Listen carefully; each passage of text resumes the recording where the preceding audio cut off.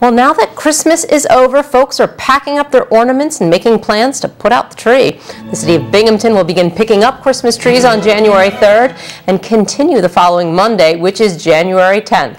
Only Christmas trees will be picked up, no yard waste will be collected.